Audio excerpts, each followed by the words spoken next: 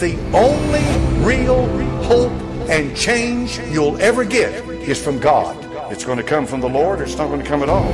It's going to come when you admit that you can't do it and that you've got to have His help. Jeremiah 17:9 The heart is deceitful above all things and desperately wicked. Who can know it? This is our verse today. The context of Jeremiah 17:9 speaks of Judah's sinfulness in spite of all the blessings of God. The heart is deceitful above all things and desperately wicked. Who can know it? The Bible tells us our hearts are deceitful, and not only are they deceitful, they are desperately wicked. You may say to me, I know my heart. Are you sure? Are you absolutely certain you know your heart? The truth is, you don't truly know your heart, because to know your heart is to say you know how you will react in every single situation. There are some situations that a person can go through, and those situations will lead that person to respond out of character. You don't know your heart. You don't know what your breaking point is. You don't know what can push you to cross the line for you to behave out of character. Life can present situations like this situations that push you to your breaking point, to where you do things that you never imagined doing. Do you know there are people in prison right now, this very moment, because they did something that they never thought they would do? Do you know there are people who have ruined their very own lives because they did things they never thought they were even capable of doing?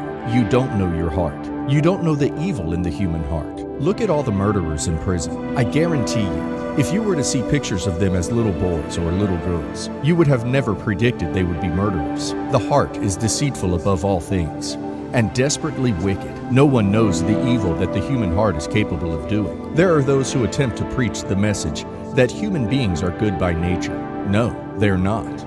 We don't know the wickedness that is in people's hearts. How many times have people said, I don't know what made me do that? How many times have we heard people say, I don't know what came out of me? How many times have we heard people say, I don't know why I did that? And the truth is, they don't know why. The heart is deceitful. The human heart is diseased with sin. You don't know your heart. Don't trust your heart. Don't trust your feelings. Trust the Word of God. Trust the Holy Spirit and not yourself. There are even some people who believe they are Christians, but they avoid the Bible.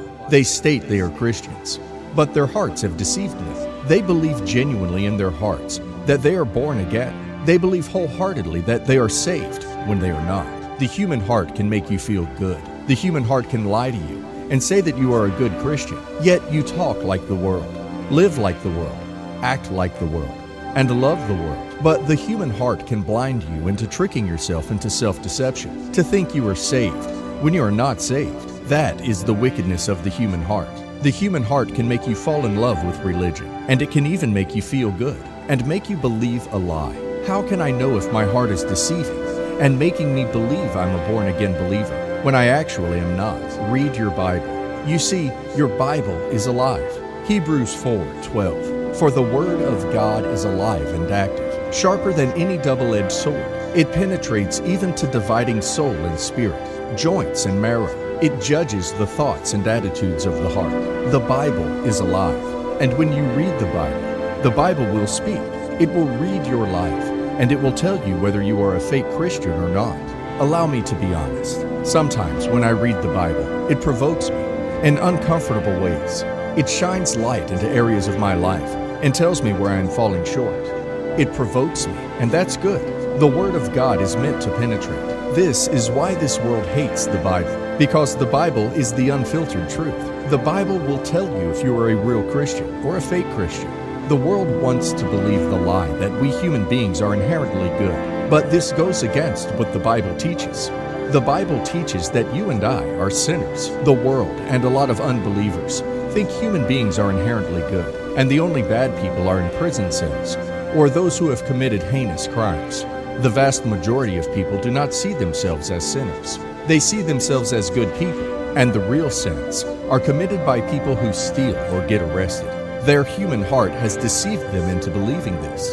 However, the Bible points the finger at every man and woman and says you are guilty, corrupted, and evil, and your only hope is Jesus Christ. For when you open it, it speaks to you, it reads you, and the Holy Spirit urges, and a miracle takes place. So many people, when they read the Bible, feel pain in their heart For they know that what the Bible is saying is true. They are sinners, sinners who have offended a holy God, and their offense deserves to be punished. And in this glorious miracle, they meet the one who laid down his life and lived a perfect and just life for their account, and through him, their debt can be paid.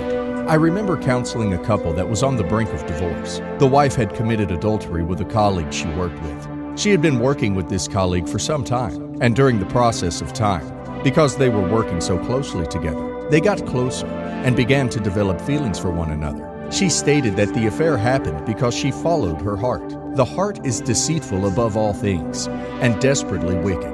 If this woman had followed a mind renewed by the Word of God, she would not have committed adultery. And as a pastor, you get to see these things. You get to see the deceptive nature of the human heart. I have seen people walk down the aisle with someone they should not be marrying. Their parents tell them not to marry this person. Their friends warn them not to marry this person. But they go ahead and marry this person because they are following their heart, rather than seeing that this person they are about to commit their future to does not possess the characteristics that will make a great life partner for them. They go ahead and marry them, following their heart. I remember watching a courtroom proceeding and a woman was in court to divorce her husband because she was not happy anymore and her heart was not in the marriage anymore. The man had not cheated. By her own admission, the man was a good husband who provided for the family. But there was no longer any spark in the relationship. The heart is deceitful above all things and desperately wicked.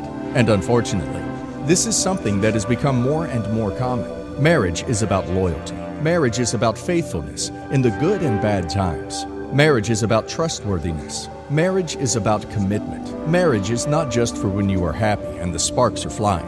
No, marriage is a commitment. You made the decision to marry that man. You made the decision to marry that woman. Honor your commitment. Unfortunately, with the introduction of social media, people compare their marriage to other people's. You don't know what is going on in other people's marriages. Don't compare it to yours. People lie on social media. People pretend that stuff is not real. There are people who are being deceived right now by their very own hearts. They believe they are living in fellowship with God. They believe in their hearts that they are going to heaven, yet they are not born again. There are those who attempt to preach the message that human beings are good by nature. No, they are not.